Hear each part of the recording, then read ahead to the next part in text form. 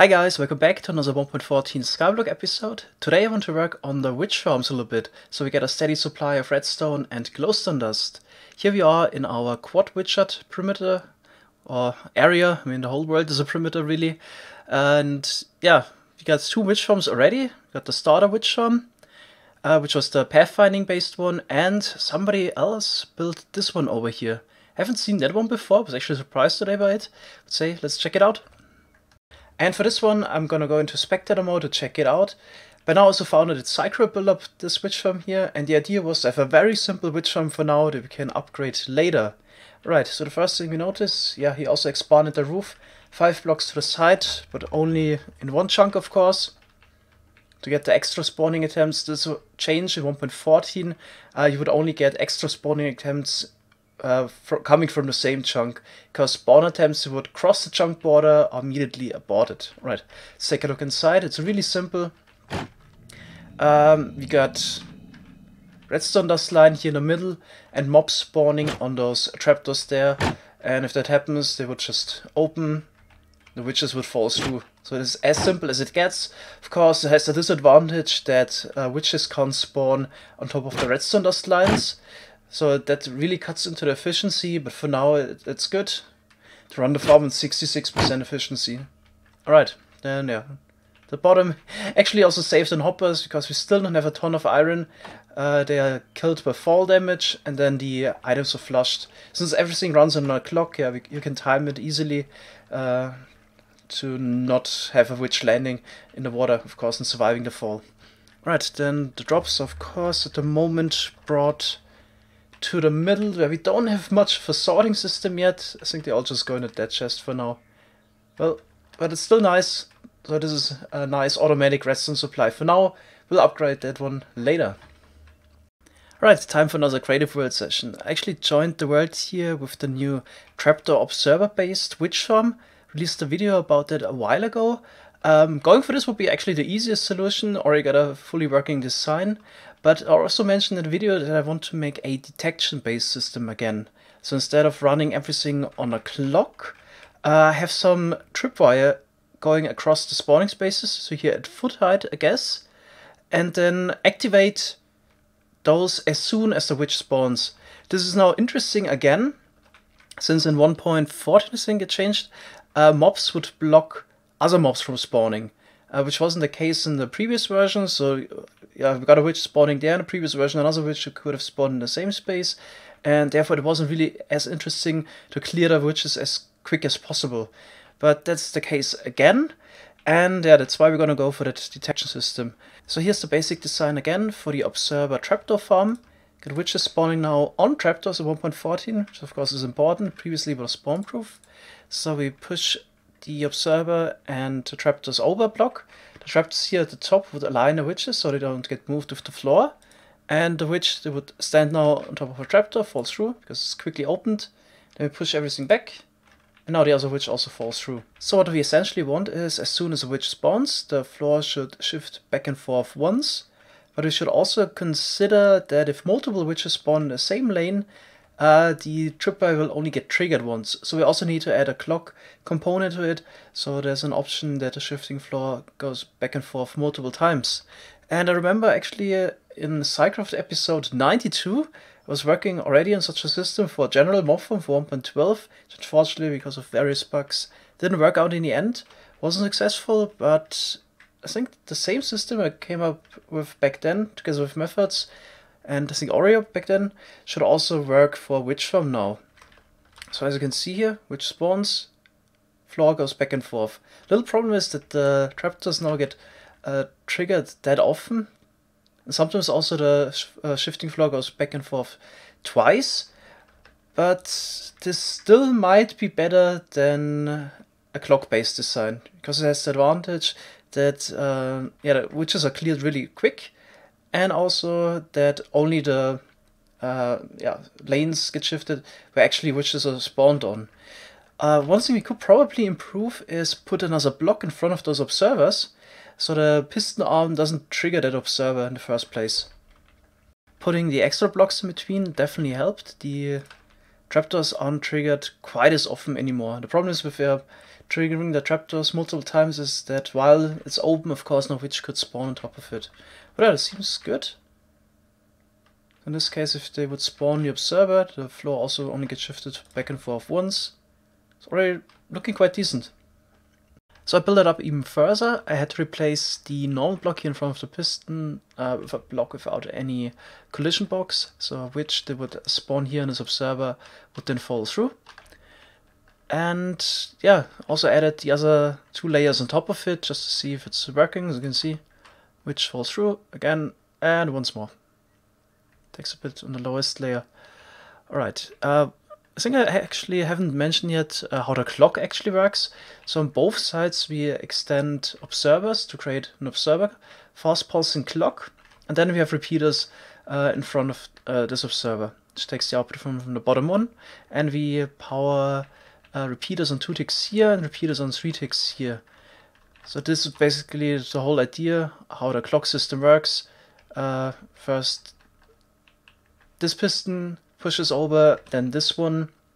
And because those repeaters or those clocks are on a different cycle, uh, we can alternate between pushing right and left. So I also put a primitive roof on top of everything just to check if the farm is working.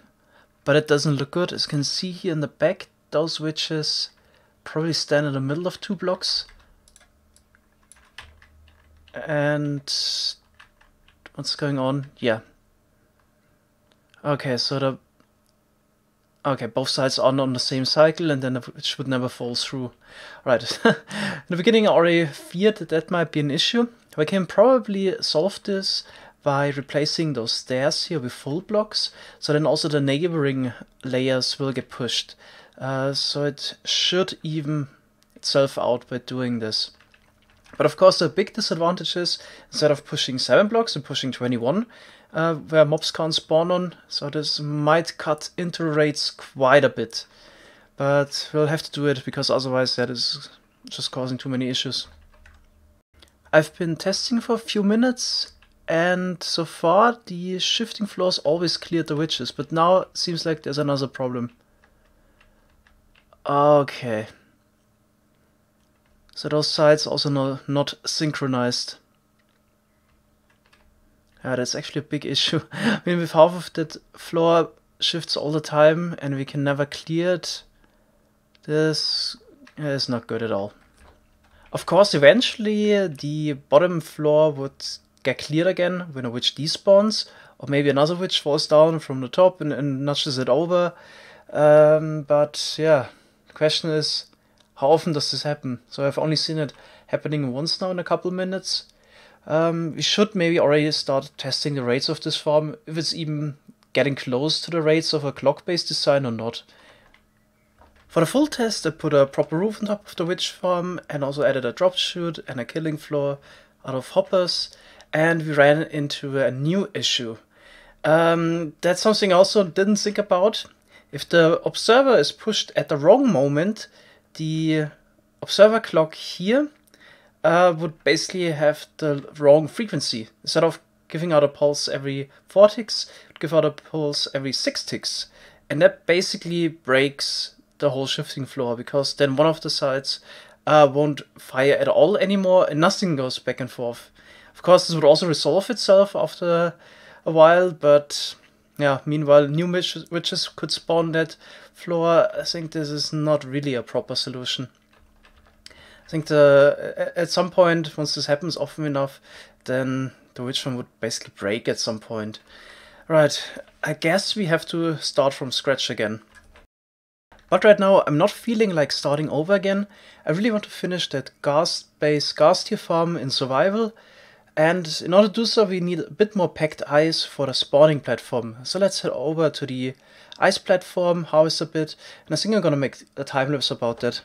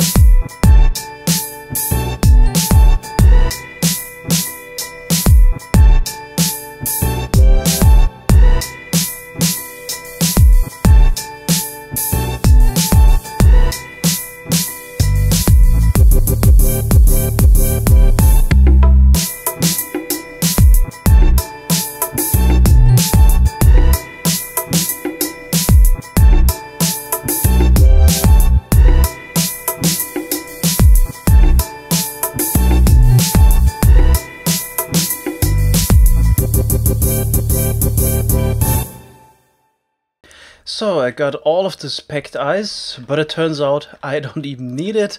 Somebody already finished the spawning platform. But here's really the fun of the early late game. I'm missing another resource. So at the bottom, we still need to put in the rails for the ghast to go back and forth. And we, at the moment we don't have any gold farm and we don't have nearly enough gold to make enough powered rails here. So we're lacking something else. We need a farm for that. We we need a gold farm. But I really don't feel like starting on that. Maybe let's also search for something else we can do right now. And I kind of forgot that we already have some kind of a gold farm, which is not actually that bad. Especially if you have a looting sword. Cycril landed me his. So I'm just gonna kill those baby pigmen here. And to get us the looting sword, we're gonna get a ton of nuggets.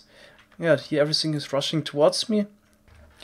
So after this gold farming session, I finally had enough to craft all the powered rails we need to finish the ghast farm. So I got together with some other server members and we really tackled the rest of the construction. I recorded a little bit and here are the highlights of our building session. Morning there. Oh, Those Oh, that is. Oh, that's just temporary. Yeah, yeah. Yeah, Do we have any idea maybe to also get get the magma creams? Not really, right? no, they build it too low for that. No. We have to make another farm. Oh, There's great, there's pretty nothing much here. nothing here. Nice. Not even cobble. Well, I guess we can go back and do some crafting. Well, we have cobble. Yeah, but we need repeaters, Pistons. pistons. I Pistons brought, I and brought repeaters iron, and redstone, redstone. yeah, but I don't have cobble. If you need iron, I think there's uh, I half a shulker box of So I guess a at the iron bunch farm. of slabs and cob- uh, slabs and cobble walls and rails, so we can. Hmm. Couple of hoppers, I guess, but I we just, can just bring let's, logs. let's do a crafting session. Yeah, Put the iron bot I got the in pistons, I got the redstone, I got slime blocks, I got repeaters. I guess I'm bringing a bunch of cobble slabs.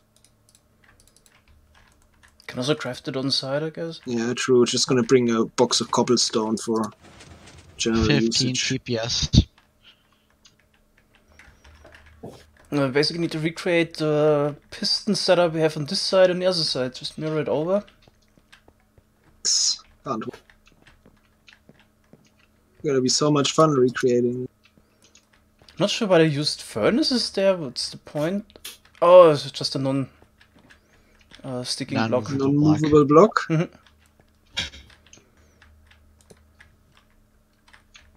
It's actually bad what I'm doing here. I should immediately spawn proof this. There's a repeater on top. If you actually have the gold, should I do the powered rails only? Yeah, I mean, they're not gonna go to waste, right? Still can Oh, recover them and then First death. Hmm. rip. Hopefully, you didn't lose materials. No, no Yeah. one cares about the armor and the diamonds and stuff. Just don't lose the Yes. pistons. Yeah. Hate building and survival. Like, trade. Looks good to me. Surprisingly. Um, so I'm guessing just put in junctions with levers. Yep. I don't have any cobblestone. Do you have some? Efforts brought some. There's plenty Uh, at there's the, some in at the, the uh, get storage here. a uh, black shulker box. Oh, we're missing? Or not missing? Okay, the redstone is built on the other side. Both still has to get connected though and attached to the potential future clock, but And bulk is done. again. Oh yeah. What's happening? That was me. Sorry. I went to the nether. Okay. Still, why are we... Okay, now it's catching up. Why are we at 18 Yeah. TPS though? Fuck. Makes no sense at all. Oh, that wasn't too bad Um, actually. We should also seal this area off. Armor. So the guards that are in there don't start shooting or whatever. That's maybe something Pluty can do. I don't think they can actually see us at all anyway. Uh, sorry, what? I'm Is in there the- head level in the in the ice here? No? I'm in the it will overworld. suffocate Give me there. They're all lacking. Right uh, above it with the head level, I think. Yeah. We should seal this area completely That off. should be sealed So- off, yeah. So instead of just rows of slabs, all slabs on top, proper roof. Yeah. Kills the Alright, we a might- little Uh, bit, but are there any proper? Uh, Mango, then we should also probably fix. fix up the clock and everything before we bring in the guests, right? Yeah, of course, everything needs to be finished, then we bring in the ghast. Yeah. We should be kinda ready once the clock and everything is connected. Think. Uh, Um, who placed this redstone dust here and on the crafting chests table? down. I did to make it spawn proof. Yeah, but we're gonna put a lever there, right? For the because there's a Sorry. rail. I'm going to put. Uh, I'm putting the stone in. Uh, Just the making chest. sure. Just making sure I'm doing this right.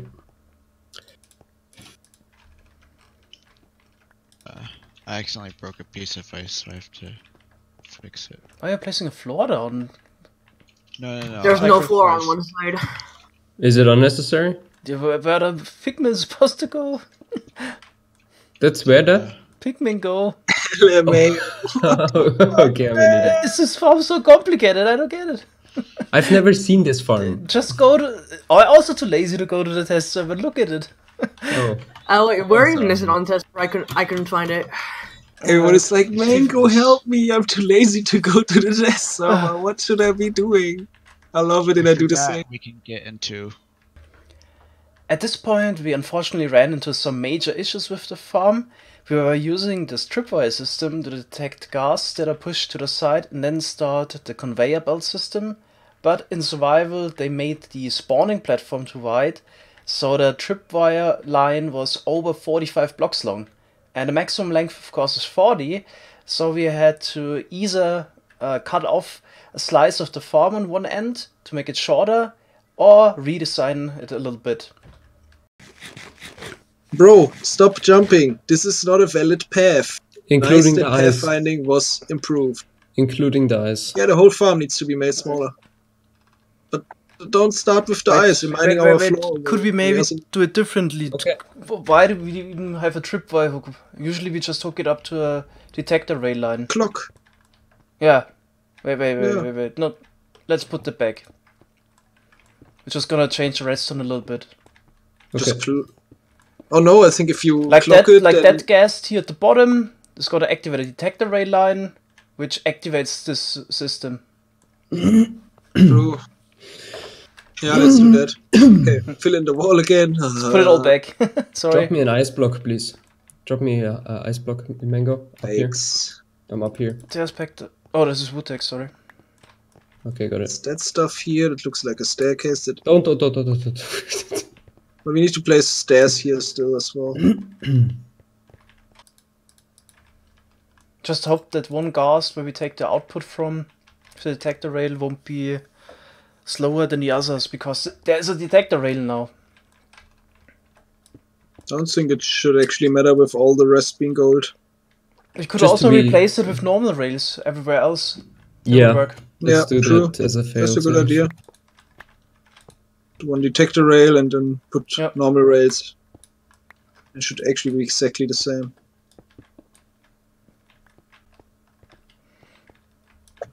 That's Oh, slide. we were pick so up. lucky, Methodzz. I just brought the block below you. Below you. Okay. Uh, that's gonna get pushed. No, Yeah, that's doesn't intended. matter. Okay. Looks good. Quick. I guess actual Shooter? testing and the timings can be adjusted afterwards. At this point, the farm was supposed to work. All there was left to do was the most nerve-wracking part, putting in the ghast.